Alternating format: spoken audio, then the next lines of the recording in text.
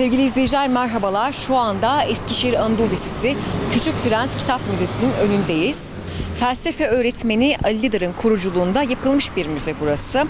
İçerisinde yaklaşık 2000 adet Küçük Prens kitabı mevcut ve bu kitaplar yaklaşık 400 farklı dile çevrilmiş. Tabii malum pandemi koşulları nedeniyle e, Küçük Prens Kitap Müzesi'nin açılışı yapılamadı. Ee, Sayın Ali Lidar ve okul müdürü Rıfat Günday ile birlikte birazdan bir röportaj gerçekleştireceğiz ve müzenin tarihçesini, içerisindeki malzemeleri sizlerle buluşturacağız.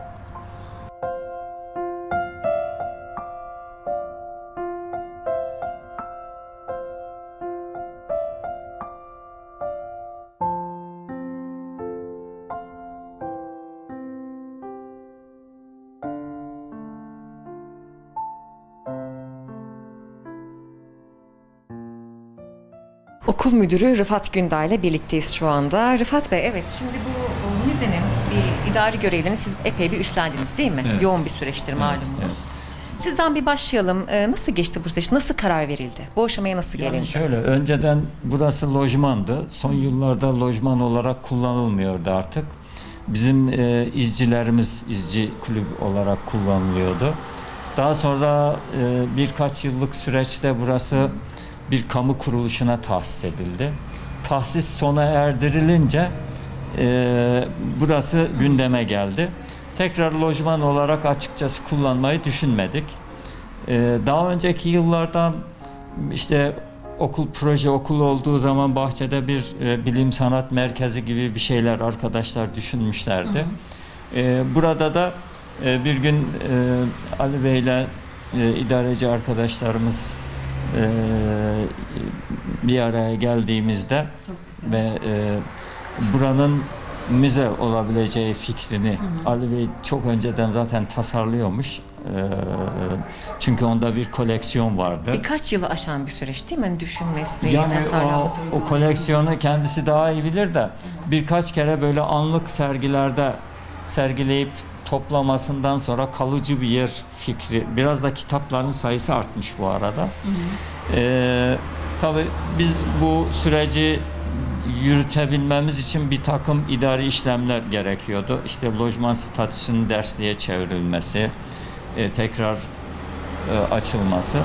Bu tür işlemler için yani birinci kısım oydu. İkinci kısım e, buranın müzeye uygun dekorasyonunun ve kura, e, kurasyonunun yapılması gerekiyordu. Güzel olmuş. Evet. Ee, ilk sürece e, biz de hemen e, yani inşaat emlak işleri İl Milli Eğitim e, Tabii, uhdesinde olduğu için e, hemen e, Ali Hoca ile birlikte e, İl Milli Eğitim Müdürümüz e, Sayın Hakan Cırıt'ın yanına gittik ve bu e, fikrimizin uygulanmasını e, o da hemen destekledi. Yani sağ olsun e, Hakan Müdürüm destekledi. Ve sonra idari işlemler işte e, onayı alındı. E, ad verme konusunu işte belirledik. Ondan sonra dekorasyon işine geçince tabii bir bütçe vardı. Ali Hoca dedi ki yani bu e, doğrudan eğitim öğretimle alakalı bir şey değil. Hani okulun kaynaklarının buraya kullanılmasını ben şey yapmıyorum. Ee, uygun yani doğru bulmuyorum, etik bulmuyorum.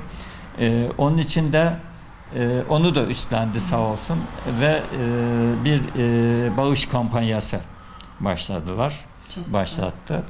E, e, tabii okulumuzun idarecileri, e, baş yardımcımız Bahadır Bey, e, Sinan Bey, Mustafa Bey ve Lale Hanım da bu konuya tabii aile birliği de çünkü bu işlemin aile birliği üzerinden yürümesi gerekiyordu.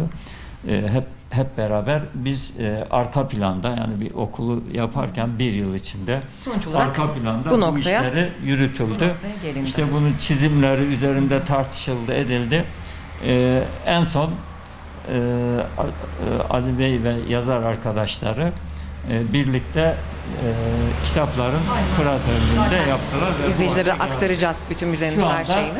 e, şu anda açılışını bekliyoruz. Pandemi nedeniyle Pandemi açılışı da nedeniyle ertelendi bu açılışı arada. Onu da Ama belirtelim. şu anda e, müze bu haliyle bile büyüme eğilimine girdi.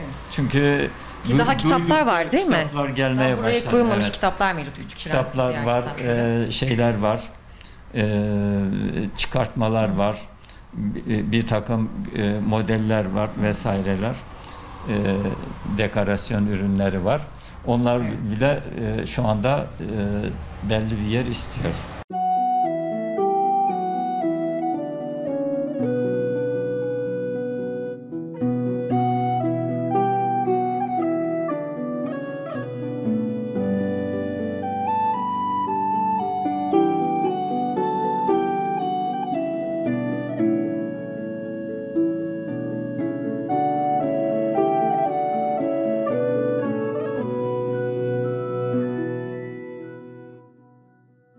Evet yanımızda Küçük Prens Kitap Müzesi kurucusu, felsefe öğretmeni Ali Lidar var. Nasılsınız Ali Bey? Merhabalar, teşekkür ederim. İyiyim. Sizler nasılsınız? İyiyim ben de çok sağ olun. Çok güzel yapmışsınız. Teşekkür Hep ederim. birlikte diğer öğretmenlerle birlikte. Çok sevdim burayı. Ee, aslında ben şey düşünüyordum sanki böyle birkaç yıldır açıkmış gibi ama daha pandemiden dolayı açılış yapılmadı değil mi? Tabii ya bizim maksadımız Mart 23'tü. Burayı resmi açılışta açmaktı. Fakat bir hafta önce okullar kapandı. Gelmiş. Tam okullar kapandı işte bir hafta öncesinde. Dolayısıyla biz de açılışı okulların açılışına erteledik. Ama birkaç hafta içinde açarız artık. Çocuklar gelmeye başladı. Tahmin ediyorum Kasım ayı içinde buranın açılışı olacak artık. Evet. Şuna başlayalım. Bir müze kurma fikri kafanızda hep böyle yıllardır var mı yoksa aniden gelişen bir şey mi? Şöyle tabii aniden gelişmedi. Çünkü koleksiyonu uzun süredir yapıyorum. Ee, Şimdi koleksiyon belli bir sayıya ulaştıktan sonra biz birkaç sergi açmıştık zaten. Eskişehir'de bir sergi açtık. Adımlar Kitap Evi'nde. Ankara'da bir sergi açıldı. İstanbul'da açıldı. Aslında bu sergiler bu müze fikri konusunda bizi hep kışkırtıyordu. Çünkü sergi nihayetinde sonlu bir iştir. Yani insanların mekanını sürekli kullanamazsınız. 15 gün, bir ay serip sonra topluyorsunuz. Hani bütün koleksiyonu ila nihaya gösterebileceğimiz 365 gün açık olmasını planlıyorum. Bir mekan kurma e, Devamı fikri kaldır, var. başka yere taşı falan. Tabii tabii ser- sergiler olmuyor. Aynen. Bizim bir mekana ihtiyacımız vardı. İşte şartlar el verdi. Yoksa fikir e, çok daha eski bir fikirdi. Ama şartlar yeni el verdi. İşte yaklaşık bir yıl önce bu binaya girdik. Çok güzel olmuş ama. Şey ne kadar sürdü bu boyasıdır, şeydir, bitme işleri? Şöyle biz e, 2019 Ağustos'ta kolları sıvadık. Çok kötü bir haldeydi bu bina. E, işte Mart Lojmandı zaten. Ya çok eskiden lojmandı. Uzun süre lojman olarak da kullanılmadı. Bir ara kaymakamlık kullandı. Sonra onlar da boşalttı. Berbat bir haldeydi. Ee, İşte Ağustos sonu gibi, 2019 Ağustos sonu gibi kolları sıvayıp sıfırdan başladık. Mart başında da artık açılışı hazır haldeydi. Demek ki bir 6 ay kadar sürmüş buranın hazırlığı. Peki e, şu an isteyen gelebiliyor mu ziyarete? Şöyle, e, şimdi ilk hafta sonları açamıyoruz. Fakat ben hafta içi buradayım. E, online dersleri de müzede veriyorum. E, Pazartesi'den Cuma'ya 11 ile işte 4 arası aşağı yukarı. E, tabii önceden haber verirlerse iyi olur. E, işte sosyal medyadan olur, okul telefonlarından olabilir. Gelenleri çok kalabalık olmamak şartıyla gezdiriyoruz. Evet. Biraz da edebi boyuta geçelim. Küçük Prens'ten bahsedelim. Yazarını, hikayesini, daha sonrasında müzedeki bu hani en küçük kitaptan Göktürkçesine kadar birçok çeşit var. Onlara değinelim. Tamam. Ee, İkinci Dünya Savaşı yıllarında yazılmış bir kitap. Ee, işte Exupéry'nin birkaç kitabı daha var ama benim de en sevdiğim, onun da en okunan kitabı oldu. Ee, yazarı 1944 yılında uçak kazasında öldü diye düşünüyoruz. Uçağı kayboldu Sahra Çölü'nde. Cesedi bulunamadı. O da aslında Küçük Prens'in finaline çok uygun bir bitiş. Orada da böyle bir metaforik durum var. Yani 20. yüzyılın en çok okunan edebi metinlerinden biri. Yani benim bildiğim tüm zamanların en çok okunan üç kitabı. İşte Daima çok satanlarda zaten. birincisi Dickens'ın İki Şehrin Hikayesi. 200 milyon kopyadan fazla satmış. İkincisi Tolkien'in işte Lord of the Rings, e, Yüzüklerin Efendisi. Üçüncüsü Küçük Prens değil ama bu son dönemde muhtemelen Küçük Prens ilk sıraya gelmiştir. Dünyada en çok okunan edebi metin. İkincisi dünyada en çok farklı dil ve lehçeye çevrilen edebi metin. 450'ye yakın dil ve lehçeye çevrildiğini biliyoruz ki buna yaklaşan bir edebi metni bırakın basılı metin yok. Yani yine araştırmalarıma göre en çok baskısı yapılan ikinci basılı metin İncil. İncil'in de 150 civarında dil 150 ve civarı. lehçe olduğunu biliyorum. Haliyle Küçük Prens'te bu rakam 3 katı. Bu diller arasında majör diller zaten var ama onun dışında çok lokal diller var. yapay diller var işte Esperanto gibi. Kullanılmayan ölü diller var. Uydurma diller var. Küçük Prens'in çevirilerinde değil mi? Evet yani Küçük Prens işte 400'ün üzerinde dil ve lehçeye ve ağza e, çevrildi. Devam ediyor. Aztekçe, Mayaca, Göktürkçe, Afrika dili de mevzusunun Braille alfabesi var. Ya evet söyledikleriniz hepsi var. Sonra tabii ülkelerin ağızları mesela Almanca'nın 30'dan tabii 30'dan fazladır. Lehçesinde Küçük Prens var basılı. İngilizcenin versiyonları var mesela Orta Çağ İngilizcesi. Daha da eski İngilizce. Ee, işte Denizli ağzıyla mesela yakın zamanda. Denizli ağzıyla, Küçük Prens diye. Evet. Kıbrıs Türkçesiyle mesela basıldı. İşte Kürtçenin mesela 5-6 farklı formu var. İşte Zazaca, işte Gorani, işte Kırmançı gibi. Ee, dolayısıyla hani akla bile gelmeyecek. Benim de bu koleksiyona başlamadan önce bilmediğim, duymadığım dil ve lehçelerde küçük prensler. Şaşırıyorsunuzdur değil mi? Böyle her şeyi çeşitliliği gördükçe. İlk başlarda daha çok şaşırıyordum. Şimdi çok işin içinde olduğu için e, hani her yeni dil duyduğumuzda tabii bir heyecan oluyor ama o şaşkınlık kısmı biraz geçti tabii. Artık. Çok küçük ufak da var. Değil mi? Evet Bilmiyorum. yani bizim bildiği, benim bildiğim tam maskı dünyanın en küçük küçük prensi de var müzede. 50 lira müzesinde bulunuyor. El yazmaları da var mesela. Onların da dünyada örneği yok. Gösteririm yine birazdan. Ee, yani dediğim gibi burada 400 civarında değil de 2000'in üzerinde kitap mevcut yani. Bu kitapları peki nasıl topladınız? Ya şimdi şöyle bir iki koleksiyoner arkadaşım var bir kere onların ismini almamız lazım. Mehmet Sobacı ve Yıldıray Lise. Onların koleksiyonu ve benim koleksiyonumu birleştirdik. E, tabii her kitabın hikayesi farklı. Bir kısmını sahaflardan aldık. Bilhassa Türkçeler. Bir kısmını çıktık da aldık, çıktıkça aldık. Bir kısmını yurt dışından dostlarımız gönderdi. Bir kısmını okurlar gönderdi. Bir kısmını işte Erasmus'ta yurt dışına giden öğrenciler gönderdi. Tabii sosyal medya bize bir noktada yardımcı oluyor. Dünyanın e, her yeriyle artık irtibat kurmak kolay. Bilhassa Sosyal medya hesaplarınızda aktifsiniz gayet. Aktifim evet. Ee, bize ulaşmak kolay. Bir de bu hadiseden çok uzun yıllardır haberdar bizi takip edenler. Bir yere gittiklerinde Küçük Prens'le karşılaştıklarında bir vesileyle hatırlıyorlar bizi. Ee, bakıyoruz vardır yoktur diyoruz. Ondan sonra da e, eğer yoksa elimize gönderiyorlar. Evet. Ee, peki e, bu müze yeterli geliyor mu yani şu an için? Hiç düşünüyor musunuz burada bir kat daha var onu da çeviririz falan müzeye diye? Ya onu zaman gösterir. Ee, yani şimdilik evet yeterli ama e, kitaplar çır gibi büyüyor. Sürekli yeni kitap geliyor. Ha belki bir ilave bina yaparız. Ee, zaman ne gösterir bilmiyorum. Ama e, uzun vadede yeterli olmayacaktır kesin. Evet. Yani şimdilik biz e, idare ederiz ama uzun vadede ne olacak bilemiyorum tabii. Girişte bir bağış kutusu var. Bir de değil mi? Zaten müze bağışlarla kuruldu. Buranın giderleri de bağışlarla karşılanıyor. Yani burada binlerce insanın e, küçük büyük e, payı var. Maddi manevi çok fazla destek aldık zaten. Hale yine burası ücretsiz ama gelip işte bağışta bulunmak isteyenler aile birliğine gidiyor zaten toplanan bağışlar. E, bağışla yapabiliyorlar evet. Onun için izinlerimizi aldık. Evet. Ee, peki şunu da sorayım. Şimdi e, aynı zamanda yazarsınız. Biraz da kitaplarınızdan bahsedelim. Yani evet bir, kaç kitabım var? 10 tane kitabım var. Ee, ya uzun süredir işte ülkenin hmm, nasıl söyleyeyim, popüler ulusal dergilerine yazıyorum. Ot, işte Bavul, İzdiham ve yani onlarca dergi. İşte 10 kadar kitabım var. İşte edebi araştırma kitapları var, şiir kitapları var, öykü kitapları var, deneme kitapları var. Var yani kitapta yazıyorum arada. Ben sizi Twitter'da takip ediyorum da bazen sistem ediyorsunuz böyle hani kitap isteyen takipçiler oluyor ya. Şimdi sosyal medyayı aktif kullanınca bütün derdinizi anlatıyorsunuz. Yani zaman zaman bunaltan şeylerle karşılaşılıyor evet. Ee, doğru. Sosyal medya biraz sitem alanı oluyor benim için. Zaman zaman. Özellikle Twitter Öyle. şu son zamanlarda. Öyle. Ee, peki evet müze çok burada kaç öğretmenin emeği var peki? Ya herkesin yani şöyle sonuçta e, okul idaresi ve biz hani ben e, sürekli buradayım. Ama onun dışında bütün öğretmenlerim yani gelip geçerken kolay gelsin diyen arkadaşımın da emeği vardır.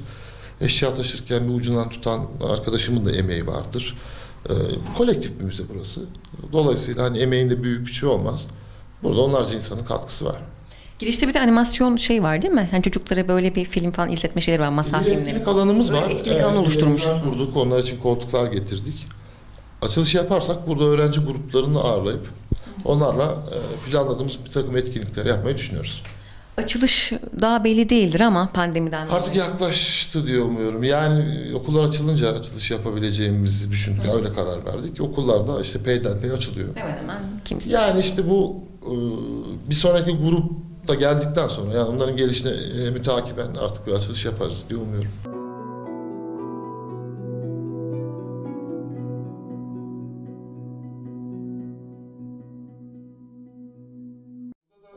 Türkiye'de yapılan ilk baskılar var. Şimdi 1953 yılında Çocuk ve Yuva dergisinde fasikül olarak yayınlandı Küçük Prens. Çeviren de çok değerli bir şair Ahmet Nuri Dranaz.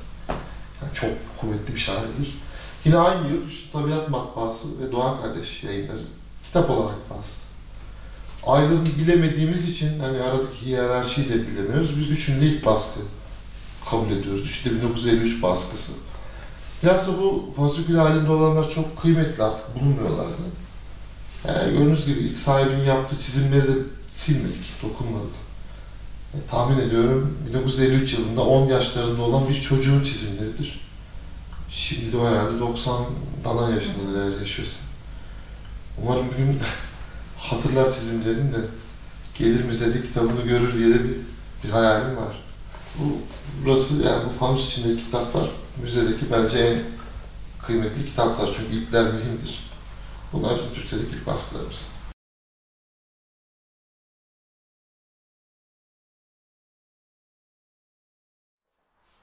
Ee, bu köşeden biraz bahsetmem lazım. Burada bir zaman tüneli mevcut. Küçük Prens'in dil yolculuğu dedik adına. Ee, Fransız, kitap Fransızca yazıldı fakat ilk baskısı İngilizce yapıldı. Onun da başka bir hikayesi var ama belki bir daha anlatırız. Sonra aynı yılda Fransa'da basıldı. 1943'ten 47 yılına kadar sadece bu iki dilde basılmış. 47 yılında Polish diline, 49'da İtalyanca'ya çevrildi. 50'de Danimarka ve e, Almanca'ya çevrildi. Uzatmayayım 53 yılında Türkçe'ye çevrildi. Yani Türkiye Küçük Prens'i ilk kendi diline çeviren ülkelerden biri. E, Peş peşe devam ediyor işte. 1943'ten 2020 yılının Ağustos'una kadar dünyanın neresinde, hangi yıl, hangi kapakta Küçük Prens basılmış tek görselde görmek mümkün. Epey bir zaman aldı bunu e, Mehmet Sobacı hocam işte Ulaş diye bir dostumuzla birlikte hazırladı. Bunun bir de Türkiye'de basılan Küçük Prensleri versiyonu var. Onu da hazırladık. Sanıyorum önümüzdeki hafta onu da artık duvara monte etmiş oluruz. Burada aslında e, dillerin hikayesini daha rahat konuşabiliyoruz genel dostlarla. Buraya bir teşhir alanı yaptık. E, bu kitapları mütakiben değiştiriyorum 10-15 günde bir. İçlerinde Türkçe basılan kitaplar da var, ilginç bulduğum. İşte ön benim yazdığım İtaki'den çıkan Küçük Prens var. İşte Denizli Lehçesi var. Bazı e, Küçük Prens'e dair oyun, aktivite kitapları var ki çocukların ilgisini çeker diye koyduk. Görme engeller için hazırlanan Braille alfabesinde Küçük Prens var. İşte Puzzle Book diyoruz. E, puzzle kitap var. Çizimleri çok beğendiğim için buraya koydum. Çok özel bir Küçük Prens var burada. İspanyolca. Ama e, bunu çizen çok değerli bir sanatçı aynı zamanda. Bu resimleri çocuklar görsün istiyorum. Ara sıra açık tutuyorum. Ya burada bağış kutumuz var. Gelen dostlar bağış yapabiliyor. Müzemiz ücretsiz bu arada. Zaten müzeyi kurarken ilk şartımız oydu. Burada kimseden para olmayacak. İsteyen bağış yapabilir. Bu alan aynı zamanda giriş alanımız. Ve şurada çok ilginç bir kitap var. Görebilecek misin? Onu da göstereyim. Ters basılmış bir kitap Fransızca. Aynadan okunabiliyor. Karşıya bir ayna koyduk. Su da var ama artık ben de bu kısmı komple kesersin size anlatmış olayım. Aynadan okunuyor, içi de böyle. Ters baskı küçük prensimiz de oldu. Duvardaki bütün resimleri Asun isimli bir ressam arkadaşım yaptı ki çok emek verdi. Tabii duvar kağıdı falan zanneden var ama değil. Ee, Gördüğümüz her şeyi tek tek kendisi çizdi. Ee, bu da benim çok sevdiğim bir köşe oldu. Orijinale çok yakın da bir çizim oldu. Buradan Asun'a teşekkürü. Bir boş biliriz efendim.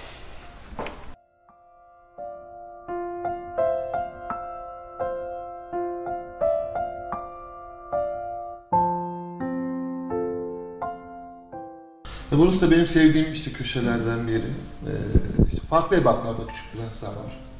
Yukarıdakiler daha bulunabilir işte okunabilir şeyler. İşte İspanyolca, Portekizce, e, işte Almanca, İngilizce, Sırpça, e, farklı boyda küçük prensler var. Burada da aynı şekilde. Şu bildiğimiz basılı en küçük küçük prens yani. Ee, yine Türkçe'de çok küçük boy bir küçük prens var ve yine e, birkaç farklı dilde Arapça ve seçemediğim bir dil daha var burada. Aşağıda da yine bebekler için hazırlanmış bir bez kitap bir kitap var.